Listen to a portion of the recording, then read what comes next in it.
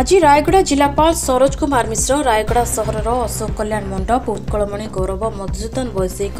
ଶିକ୍ଷାନୁଷ୍ଠାନ ଓ କୁମୁତୁଲପେଟାଠାରେ ଥିବା ଉଗ୍ରତାରା କଲେଜ ପରିସରରେ ଖୋଲାଯାଇଥିବା ଟିକାକରଣ କେନ୍ଦ୍ର ପରିଦର୍ଶନ କରି ଅନୁଧ୍ୟାନ କରିଛନ୍ତି।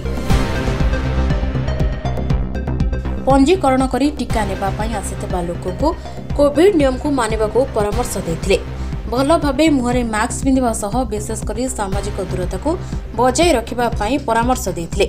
ଉଗ୍ରତାରା କଲେଜଠାରେ ଟିକା ନେବା ପାଇଁ ଲୋକଙ୍କ ଅସଂଖ୍ୟ ଭିଡ଼କୁ ଦେଖି ଲୋକଙ୍କୁ ତାଗିଦ କରିବା ସହ ନିୟମ ଉଲ୍ଲଂଘନ କଲେ କାର୍ଯ୍ୟାନୁଷ୍ଠାନ ଗ୍ରହଣ କରାଯିବ ବୋଲି କହିବା ପରେ ଉପସ୍ଥିତ ଲୋକେ ସାମାଜିକ ଦୂରତା ରକ୍ଷା କରି ଧାଡ଼ିରେ ଠିଆ ହୋଇଥିବା ଦେଖିବାକୁ ମିଳିଥିଲା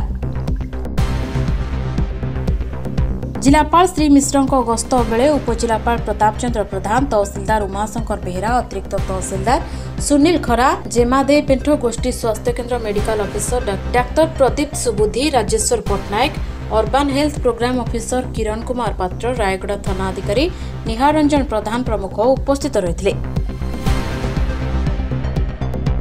ରାୟଗଡ଼ାରୁ ଦୀପକ ପୃଷ୍ଟିଙ୍କ ରିପୋର୍ଟ ନ୍ୟୁଜ୍ ଫର ଓଡ଼ିଶା